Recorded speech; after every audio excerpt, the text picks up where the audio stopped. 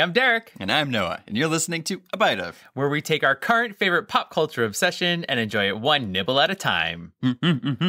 And we're finally into WandaVision, the long, long, long, long wait to get this show, and it's finally here. That's right. Mm-hmm. Our favorite comic couple is on the small screen finally, and we're diving deep into this mysterious reality of sitcom madness. Yeah. No idea what's happening, but I love every single second of it. Absolutely. Can't wait. So before we get started, got merch, Patreon, all that's going. Go to abiteofpod.com. You can find all the links there. Find it on our social media. Super cool merch, super cool things coming to Patreon, bonus episodes. Bam. So let's get into it. Let's do it. Spoiler alert! So, we will be talking about WandaVision. So, I mean, spoilers ahead. We always like to put that warning out there just in case. Mm-hmm. So, there you go. You've been warned. We've done our due diligence. And let us go on to a bite of WandaVision episode one. So, this one is black and white right off the bat after we get our little Marvel introduction there. It The goes. iconic MCU montage of characters and that amazing music that hypes me up and makes my, my chest feel a little light. Every It time. lets you know you're in the universe now. You have entered the universe. It has been so long since we have seen that intro. Pretty much like 363 days. and I feel like they added some more people in there, right? Some more heroes and stuff. it's like the phase four, I guess, intro montage. It's pretty sweet. Yeah. So, right off the bat, like I said, it's black and white. And we've known from our research that this first episode of WandaVision is based off of pretty heavily the Dick Van Dyke show. Yeah, at least this first episode for yeah. sure. And and so the Dick Van Dyke show was actually in from six ran from 61 through 66. According to IMDb, it was considered to be one of television's classics. The Dick Van Dyke show centers on the personal and professional lives of Rob Petrie, a writer on the fictional Alan Brady show. He's happily married to former dancer Laura, and they have a young son, Richie. The plot generally revolves around problems at work, where Rob got into various comedic jams with fellow writers Buddy Sorrell, Sally Rogers, and producer Mel Cooley, or at home. And so there's that split between office shenanigans and home shenanigans. I mean, it's a typical formula for like that era's sitcom. Yeah. And the coolest thing about this is like right when that intro happens, then it goes to the 4 3 aspect ratio, just like those old TV shows, and it's in black and white. Yes. So right off the bat, they're like, we're not going to ease you into this. Like No. you don't, you're not going to know why this is happening. You are literally just watching the show now. and I love the theme song to WandaVision because it does that really great thing that sitcoms sort of have stopped doing, where it sets up the entire plot and tells you the backstory. So it's like mm-hmm. letting you know, like, they're newly married, they're moving to a new place, a la Gilligan's Island or the Brady Bunch or the Beverly Hillbillies or Tiny Toons. yeah, I, I also like the part in the intro where she just like stole a house. Yeah. Did she like magic money into the person's bank account, or did she was just like it's sold? Here I always go." think like it's like I put a sold sign on so it wipes it from everybody's memory that it ever existed. I mean, this is probably her reality anyway, so anything Yeah. goes that she wants to do. I do want to say that the director, Matt Shakman, he has done so many other works from Game of Thrones to Always Sunny in Philadelphia. So I was really curious to see how he would handle MCU. And so far, I'm liking it. Yeah, Mm-hmm. Yeah. I'm liking it. really good. And, you know, once we get past this theme song, you know, we see some funny things where he phases through the door and she falls on the floor. And then the way it's shot is sort of that three camera perspective, which is so true to sitcoms of times past. In front of a live studio audience. Oh, that's right. added an extra layer of just really getting into that world and settling in. And all of the effects in here were all practical. They're all used by like wire effects, just like they did in Bewitched. And you could tell, but it was just such a cool thing to see. Well, yeah, I love it. You know, you see things floating through the air and it's on strings. And I just thought of myself in that position. I would be petrified the entire time. Where's Making- the wire supposed Oh to go? god! Like I'm thinking, like, what is like the tracking system like? Like, how does this really happen? I don't know. I feel like whoever's controlling those wires just has to avoid people's heads. Right? Like just get to where it needs to go, but just yeah, go around. And then heads. also like perfectly land the plate on a shelf, perfectly place it. That's like no idea. pressure situations. Yeah. So we get the first time we actually see our couple when the show starts is they're in the kitchen and Wanda's like magicking some plates around, which mm-hmm. is super cool. And then Vision comes in, she knocks him in the head with the plate, and then we get this kind of sad quip about, oh, my husband, it's an indestructible head.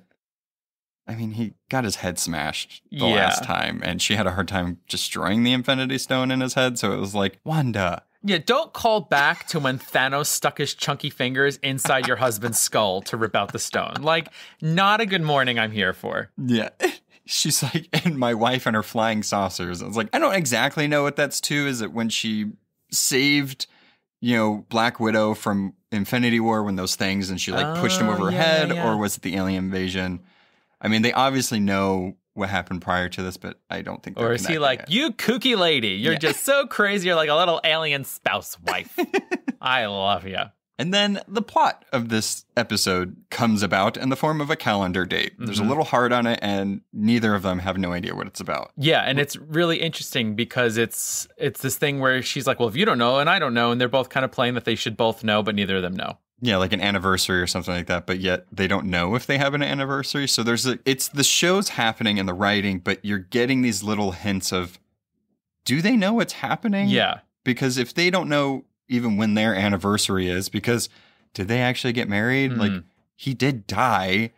How is he here? What is who and what's happening? yeah, and, and he says something to the effect of, "I can remember literally everything, Mhm. and yet I don't remember this thing." because he's also dead. He's right. And so that's this, you know, that's where things right, right off the bat things are blurry, right? It's like you have this character saying, "I know everything, literally." Yeah. And I don't know this one thing. So there's already something wrong. hmm You know, and like, you know, they kind of play it off and they laugh about it, but as the viewer you're going, "Okay, well, this is not right." True. I want as an MCU watcher, and if you've been in this universe for long, you always try to find Easter eggs Mm. and little things. So I was like, does that date mean something? I was trying to look it up. I switched the day and the month to do two, three, eight. Right. And I was like, is there a comic with that? So in Avengers number 238, there's the cover of it has Vision and Monica Rambeau on it, which if you know, she's supposed to be in the show.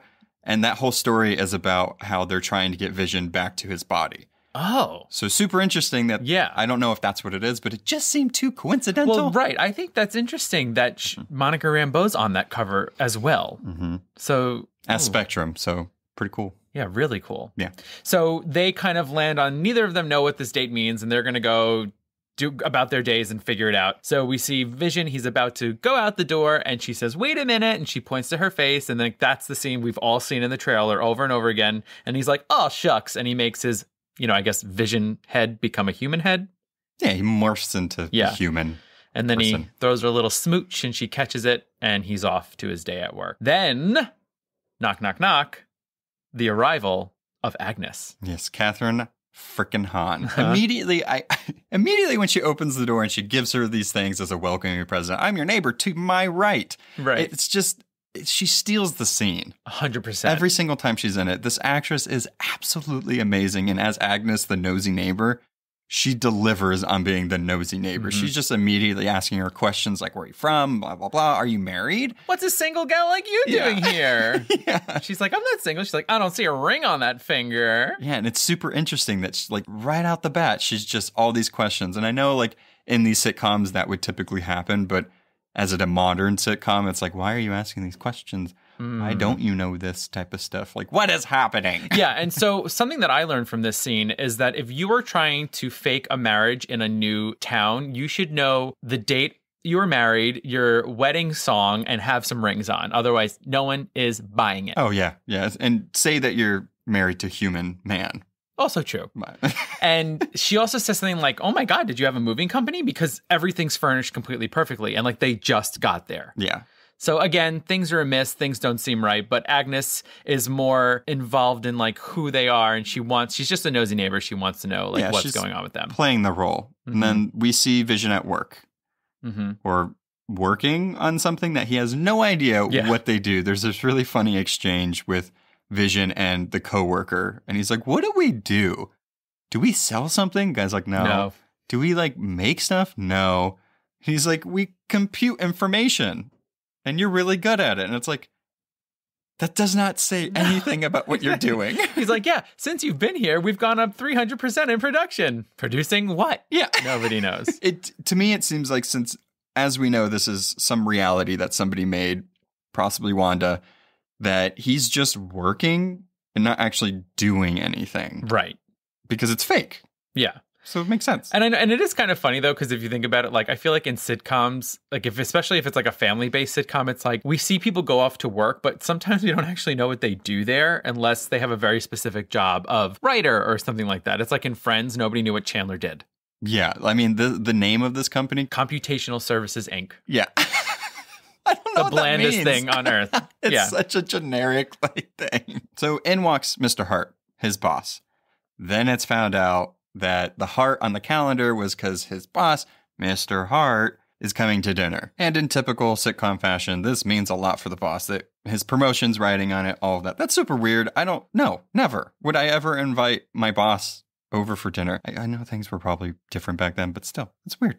In the 50s and the 60s, you had to show that you had a good home to show that you were a solid American Yeah, and they could trust you. gross. Meanwhile, the boss is overbearing and pushing into your home life. How rude. Yeah. true, true. Get out of here. So the next scene we see is Wanda at home, and Agnes comes over with a magazine, Glamorous Magazine. Mhm. And it's those typical, like, this is how you please your husband. This is how an anniversary is supposed to go. And they're going over all these things. And it's super funny. It's super charming. Then Vision calls her Mhm. when they're there. And he was like, Wanda, I'm so nervous about tonight. And Wanda thinks that it's anniversary dinner. And he's just having, like, you know, I'm nervous because we're going to be like all sexy and stuff like that. And but Vision's nervous because the boss has come over. And it's that typical hijinks. I think this is happening. I think that's happening in sitcoms where they're thinking two completely different types of things. Right. Yeah. So she's preparing for a sexy anniversary night with her husband, and he's preparing for a pressure filled evening with his boss and his wife. Mm -hmm. Scary stuff. Yeah. And then we get our first MCU commercial. Yay. Yeah. And so this commercial was extremely creepy. hmm It was for the Toastmate 2000 from Stark Industries. So we see this man and this woman, and the woman looks at the camera very odd. She's like dead in the eyes. Yeah, she, well, I have a theory about them. But we see on the toaster, so it's from Stark Industries, and on the toaster, the first color that we get Mhm. in this is the red blinking light. And the blinking light increases in intensity like a bomb. Like a bomb, yeah. And it just, to me, it's like, well, Wanda's home was pretty much destroyed from a Stark missile. Right. this is kind of it seems like it's symbolizing that a little bit. And i feel like these two people because we see them in the next episode are her parents maybe? Hmm or that's who she's seeing as her parents or they're they're manifesting that way? Yeah. And in one of the comics that we read, Vision and Scarlet Witch uh, Year in the Life, there is a callback to, you know, the whole thing is that like Wanda and Pietro's dad is Magneto, but sometimes it's not. And it's actually these, well, it's always is, but it's these two heroes that take care of them. they like adopted them Right. And then the, the woman, the, the mom, has a very similar look as far as the styling of the hair and everything. So I think that's sort of an interesting callback they might be pulling from that comic for inspiration yeah as well. super creepy Yeah. And so basically, this toaster is representing how a missile toasted her entire family. oh Beep, beep, beep. and you said dead in the eyes how dare you Grr. she had dead eyes. She was staring at that camera. She was not excited about that toast. i saw sinister eyes No, no, no. She's like, ah, ugh. Look at this. Who cares about toast? I'm dead. oh my god It's it's old. Everybody's dead. Ah. so speaking of commercials how about a word from our sponsors that aren't us wink, wink.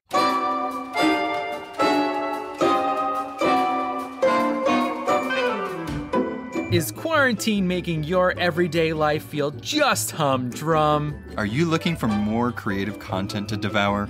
Well, we're the guys that can help solve your problem. But we need your help too! Become a Patreon member just like our very first supporter, Stephanie Marshall. Oh, Steph, we def love you. Hopefully, that's her nickname. Check out our website, abiteofpod.com, for more information and to bring brightness to your life. Gee willikers, mister, what's a website? Welcome back from that commercial break. So, we are now joining our heroes at the evening of the dinner. The hearts arrive. The hearts arrive. Also, this is another thing. Okay, who, uh, what, who goes right from work to dinner? Let your host have a moment to refresh themselves. yeah, to yeah. set up. I need to like reapply some deodorant. I Yeah. want to get out of my work clothes. Thank you. Yeah, that's a lot. Rudeness. the rudeness of the hearts knows Also- no bounds. But he's a robot, so I don't think you know, you're right. he's fine. He doesn't need deodorant You're at right. all. You're right. But we see that Mrs. Hart is none other than Debra Jo Rupp. Kitty Forman from that 70s show. I was really curious to see who her character was, and I really hope we get her more in Me the season too. because she's amazing. That laugh, the way she talks, and how she steals scenes as well. Having her and Kathryn Hahn in the same show is like I didn't think I'd ever want that before, or it's not something I realized I Right. wanted. I, I have to say, like with both of them, with Debra Jo Rupp and Kathryn Hahn, I'm always just like just like holding my breath, waiting for the next time that they're going to say something because you know, like they're there to be like a bit of a, a comedy. You know what I mean? They're going to do something funny. They're going to do something silly. They're going to kind of lighten the mood, and so you need that, Yeah. and and it's really fun. Mhm. So when they enter. It is, you know, very, it's darkly lit. There's candles burning. Cue the saxophone. I don't know what that was. Maybe a trumpet? that was like a kazoo. I don't know. Uh, tuba, maybe? Nothing says sexy like a tuba.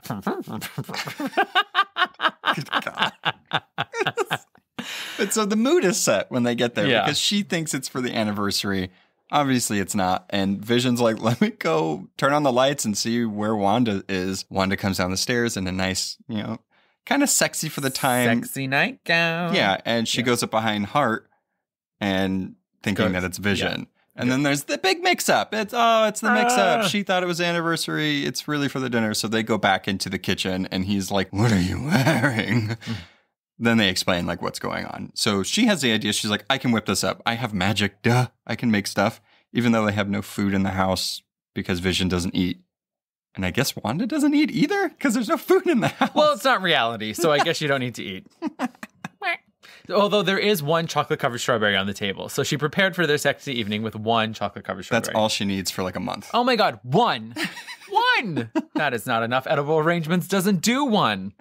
You need to get a whole six bucks. Uh, so what does she do? She whips herself into a, a delightful little evening dress and calls on the best neighbor ever, Agnes. That just happens to have pretty much a meal for four at the ready. Oh yeah, The more I'm seeing Agnes in here, the more I'm like, there's something. I mean, there's something strange about everybody. right. in this show, but there's something interesting about her. Like, it's either that she's like always wanting to help Wanda, but in this whole scene, so pretty much what the rest of this episode is, is Vision's trying to distract the hearts, hmm and Wanda's in the kitchen trying to whip up a meal, Yeah. essentially. And when Agnes comes over with all this food, she like drops the thing and she's like, Oh, I'm sorry. It's like she's causing a commotion in Yeah. there. And I don't know if it's to like harm or hurt Wanda in that way because they're trying to conceal themselves. Right. They want to be the normal couple, even though they're probably the most unusual couple in comics. Which is like, well, you know what I was just thinking? It's like really funny, right? Because like in this town of, you know, Westview, I believe it's called, mm-hmm. right? It's like modern America. We have an English guy and a woman from Sokovia. Like they're already an odd couple to begin with, you know, to be living in this small American town. And thinking of Agnes, you know, we're theorizing that she might be Agatha Harkness, which is very much, you know, Scarlet Witch's mentor. And Has to be. and it seems, and, and in this one episode, like you said, we're seeing her sit with her and plan things with her. We're seeing her save her and show her the way and teaching her how to save these moments. But at the same time, why is she being so boisterous about it? You know, is she trying to knock her out of whatever state she's in? The the Wanda that's created this whole world, True. That's trying to get her to wake up and realize what's going on. Yeah, which could be disastrous. I don't know how it works. Yeah. but I mean, floating dishes, transforming chickens, lobsters flying out the window. It has everything you want in uh, you know, early sitcom. So since Wanda's using a bunch of magic to float things around, stuff starts making a commotion in there, and Miss Hart, as you know, somebody of society and you know, being a domestic housewife at this time, she's like, "Oh, let me go help her. I'm gonna go help her." And of course, Vision's trying not to let her go in there because she's floating everything around and using her magic. There's a part where Miss Hart opens the partition to the kitchen, and then Vision starts singing Yakety yak. yakety yak to like distract her. And. I, this is probably my favorite scene in this whole episode. You just see Wanda like Vision, like what? Come on! And then Mrs. Hart's doing like a little like conga dance sort of in front of everything. so cute. It's so cute. So he's still trying to grab their attention. In the kitchen, Wanda's like getting really frustrated because she tries to speed up the cooking of the chicken and it turns, it's like burnt. And then she reverses it, but turns it into eggs. So, Mhm. like, it still seems like she doesn't really have her powers mastered, Yeah. even And- though she created this whole reality. Thank you. But it seems like it's connected to her emotions Okay. because as she started getting more flustered, everything started messing up, Okay, and that like, makes sense. The stirring was going erratic. Just like why like why was she, I don't know. I don't know her magic. Like why was she able to just go like, "Oh, okay, I'll fix my nightgown and make it a dress." But then couldn't be like, you know, like steak Diane. You know what I mean? Like she had all the ingredients. Like why couldn't she do that? Yeah, I don't know. You know, I guess it's I don't know. I'm leaning into the sitcom gold. That's what makes it funny. Right. But like at the same time, I'm like, powers work this way, but then they don't. So nah, push my glasses up. I you mean, know? It's comic book stuff. Like they have all these powers, but they only use them whenever the story calls for it. So, oh please, I'd be using my powers nonstop. Make me a frittata. so there's this really funny scene where because she's making steak Diane, she's in there and she's like, Diane! She screams it. And they're like, Who's Diane? And he's like, Oh, that's my pet name she uses for me. Yeah, And he was like, Coming, Fred. I love it. it's so funny. Super I love the writing in this. It's just so cute. It's nostalgic. It feels like a sitcom. Perfect. So everything kind of goes amuck with this. They're still trying to cook dinner. Agnes comes to the door again with a pineapple and she's like, Oh, you forgot this. You didn't answer the back door. It's like, Girl, why are you giving away her cover? Stop. God. because she's a nosy neighbor. She wants to see what's going on. So all of this ends up happening. Everything sort of gets destroyed. Nothing goes right. So then she decides, well, I have eggs, so you know what we're gonna do? Breakfast for dinner. My favorite kind of dinner. Oh my god, I love breakfast for dinner. Mm, delicious. So she floats everything onto the table. They turn around and boom, we're ready. There's candles, there's toast, there's eggs. Everybody sits down, and then this is when things get creepy. Yeah, they, well, they ask them normal questions that you Mhm. ask in a dinner when you're sitting with people you want to get to know, like when's your anniversary? Why don't you like why don't you have children? I mean, that's a little personal. Right. Like when'd you move here? Where'd you come from? And they keep asking these questions and they have no answers for this. Right. Mrs. Hart says, What exactly is your story? Mr. Hart says, Honestly, why did you come here? Why? It's interesting because it's like interrogating in a way, but it's like Mr. Hart is being more forward with it. Mhm. and I was going to say Kitty. Mrs. Hart is more like let them tell their story, like oh they're like let the kids get to it or whatever. And it seems like they're trying to get information out of them, which Hmm. we don't know any of these neighbors. We don't know who they are. Did Wanda make them? Are they really like outside agents in some way? Who knows? Yeah. And so as they keep asking, Mr. Hart starts choking. Right.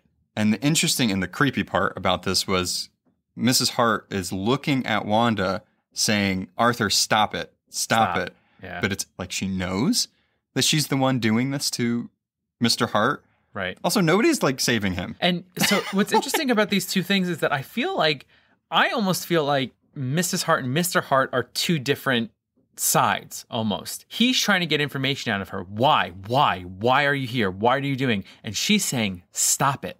Stop this. Stop." Hmm. So he's trying to get the information to figure everything out and she's telling her, "Stop. Don't do this anymore." Well, yeah, also don't kill Arthur across the table. Who falls on the floor. Yeah. and Vision is panicking at the edge of the table, and Wanda has to look at Vision and say to him, Vision, help him.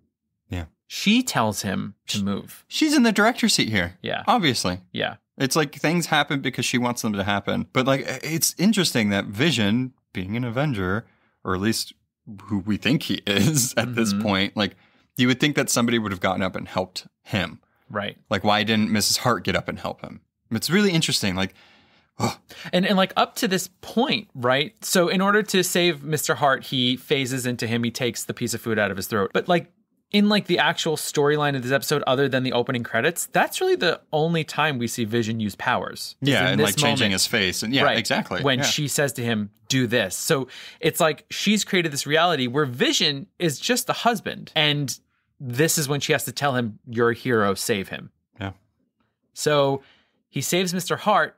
Mr. Hart pops up and says, Okay, well, it's really late. We got to go. Yeah, they act like nothing happened. Yeah. So weird. But there's a look that Wanda gives Vision, like, why are they le- like why do why are they acting normal? So it's weird. It's like she's doing things that she doesn't mean to, or like Mm. they're acting of their own volition. That's why I was like, are they somebody working from the Oh, outside because right. they're like like, oh, this is fun, like let's go, or whatever, like let's just get out of here now. Right. Because maybe in the outside, what she's doing to the real Mr. Hart on the outside is killing him. Right. Yeah, something. I don't know. And then that's why the other agent's telling her to stop. yeah. You're killing him. So they leave, and then Vision and Wanda sit down on the couch and are like, yeah, we should be married. Like, why not? Like, when did we get married or how long have we been together? Yeah. Nobody knows anything. And then she wills some rings into existence. She can make diamonds appear, but she can't make a steak Diane. Hello. This is what I'm saying. Although who knows what a steak Diane really is. no so if she doesn't have that knowledge in her head, how could she possibly make it? And then in the final scene, we see it zo- like the credits start rolling, just like a an I Love Lucy type end credit scene Yeah. where the you know the end, and then it keeps zooming out, and it and Sword Agent was watching this on a TV this whole time. Dun dun dun. so for my own knowledge, and maybe for other people's knowledge, have we seen Sword in the MCU yet? Not in the MCU particularly. It's mm-hmm. more. It's a subset of Shield. Right. you know, Sword and Shield. And Sword, Sword, just as a very quick, this is what Sword is. So, Sword in the comics is a little different than what they're doing in the MCU. So, Sword in the comics stands for Sentient World Observation and Response Department. Mm-hmm. In the MCU, it stands for Sentient Weapon Observation and Response Division. Mm. So, pretty much what they are is they monitor threats, like extraterrestrial threats. Oh, and she he made that flying saucer comment at the beginning of the Mm-hmm. episode. And are they based on Earth? They're from Earth, Sword. Yeah, it's a division of Shield. Okay, Yeah, okay. so they're based on Earth. So that's the most we've seen from the outside world. It's interesting. I want to know how they're watching it on TV. Like, is Wanda broadcasting it onto Yeah. like a secret channel? Right. or just she's taken over all the airwaves and everybody has to watch this. yeah. So this is what I'm thinking. Darcy's involved. Hmm. So if you remember Darcy from the Thor movies, her and Natalie Portman, Jane Foster, were monitoring. You know the Bifrost and stuff from space, extraterrestrial, Spas. and that would make sense on why she's involved with Sword. Yeah. So super interesting. Really interesting. Loved the first episode. Me I thought too. it was great. It was so much fun. I feel like when I'm into something personally, like I kind of completely give myself over to everything that's happening and the emotions that are supposed to be coming from a scene. So when everything was silly and it made me laugh, and then when that whole dinner scene happened, I actually got the chills. Mm-hmm. Like, and when things get serious, I'm in it and I'm focused and I'm nervous. From what I can see so far in the show, they do a really good job of like really captivating you into it. And then when something odd or creepy happens, it kind of throws you for a loop a bit because you're like, oh shit, I forgot like right. something weird's happening. We've been on this joyride, right, of this like little household, and then it's like, no, no, no, no, no, something else is really going yeah, on. and it just seems like Wanda really wants to hold on to like this idyllic type of American life, Yeah. the West, what she probably watched in Sokovia eh, from her TV. Like the thing that is- she never had. exactly. But what is an episode of A Bite of without a special segment? So here we are again for another segment of Mystery Marvels.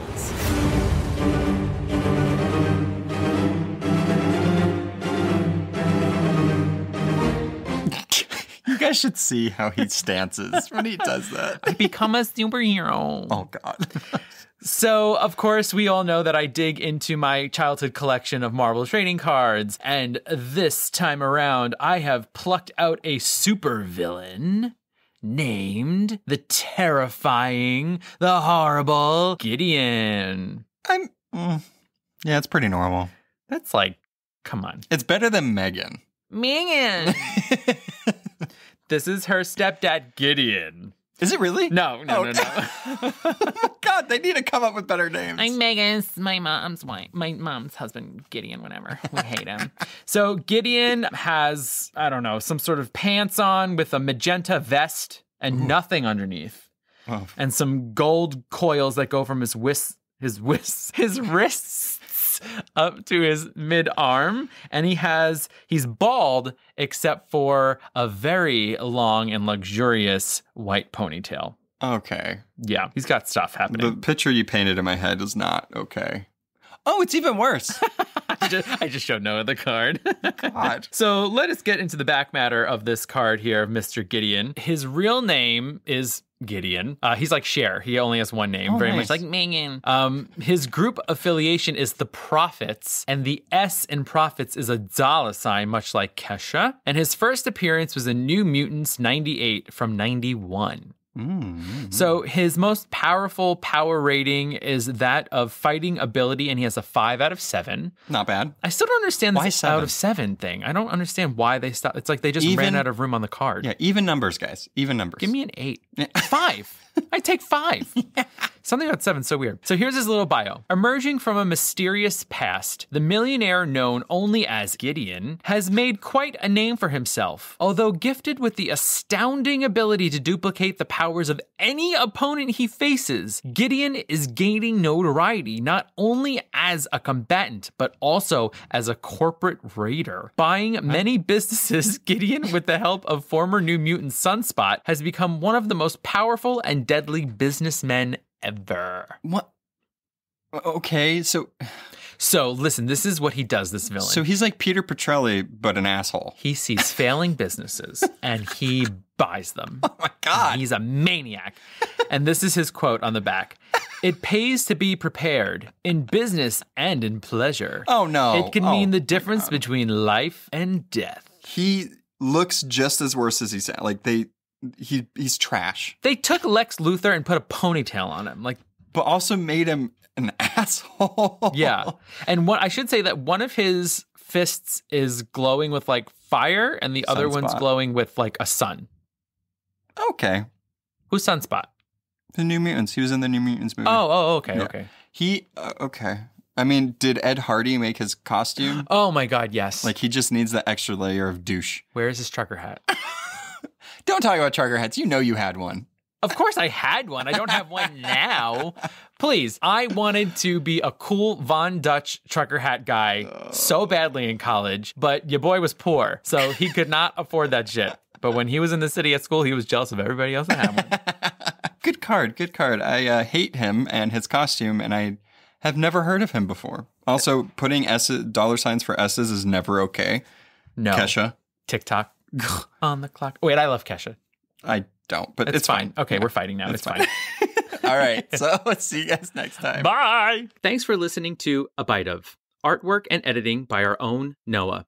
Be sure to subscribe and follow us on Instagram at A Bite of Pod and on Facebook at A Bite of. If you have questions, recommendations, or just want to say hi, you can email us at a bite of pod at gmail.com. You can find us on all podcast platforms. Please be sure to rate and review to spread the word. Hope you join us next time on A Bite of. Bye.